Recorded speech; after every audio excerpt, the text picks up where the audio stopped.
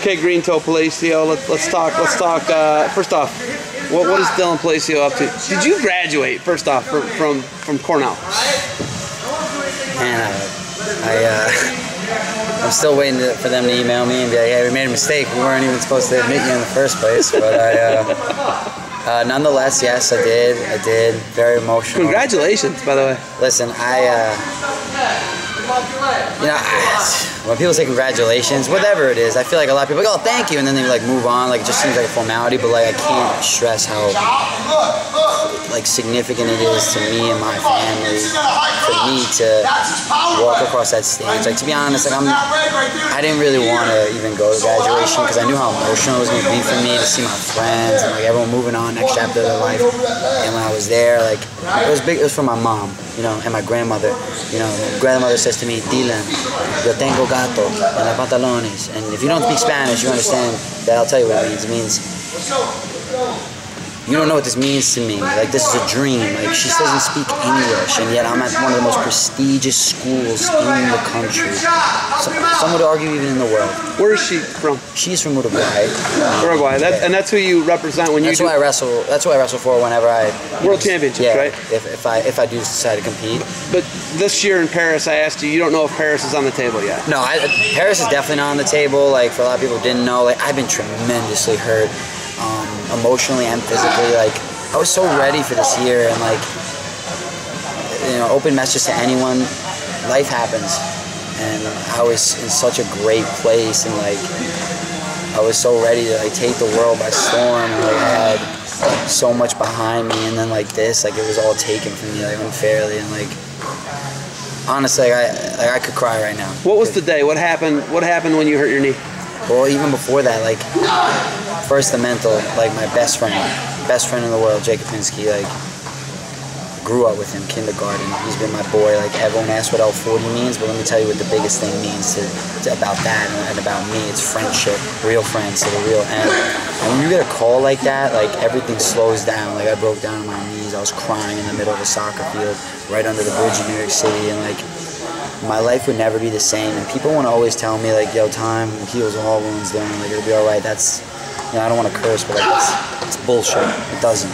Like it puts a hole in your heart, and the only thing you can do is move on and, and, and learn to adjust to this new life, this new life without that person.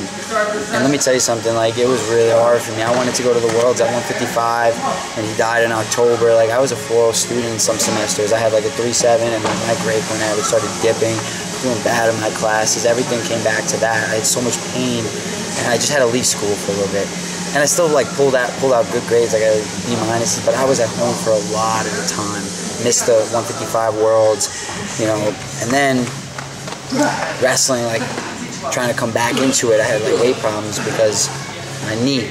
How did you hurt your knee though? Like, Initially, I really don't know. It could have been the wear and tear, but at Harvard was like the the main like boom, the pop. dual meet? Yeah, I was wrestling a guy at 165, and like, and at this point, I thought I was gonna go 165, and I was like, all right, this is gonna be the move, and like I'm trying to get up, and my knee just literally bopped out. I heard it pop, I was scared, like I was like, all right, this is the end of like my career, and like it, it was super super hard for me, and Cole sat me down, and you know, thank goodness for Coach Cole.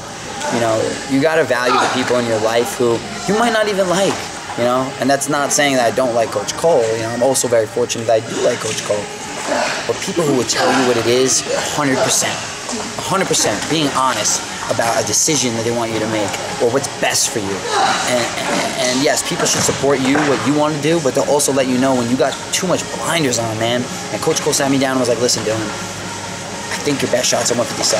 Like I think we're the best team at 157. Like you could do it. Like you can make history. You could come back. You could you could do it for your friend. You could do these things. Like you don't give up. Don't give up. Don't leave this place. I was at a point where I wanted to leave school. Like forget wrestling. I didn't. I just wanted to leave school. I'm a semester left. yeah. Cornell. I was, wanted to leave. I was that confident in walking away from everything, and I was being a little bit selfish. What it meant to my mom, to my dad, to my uncle Steve, who pushed me to get there in the first place. I really wanted to leave. And you could ask any coach.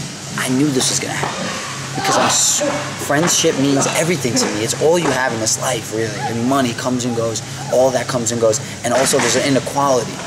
So, like, if you have someone who's super rich and someone super poor, that's not an even playing field. So people are always going to be on the equal level. But let me tell you something where everyone starts on a clean slate. It's love and friendship.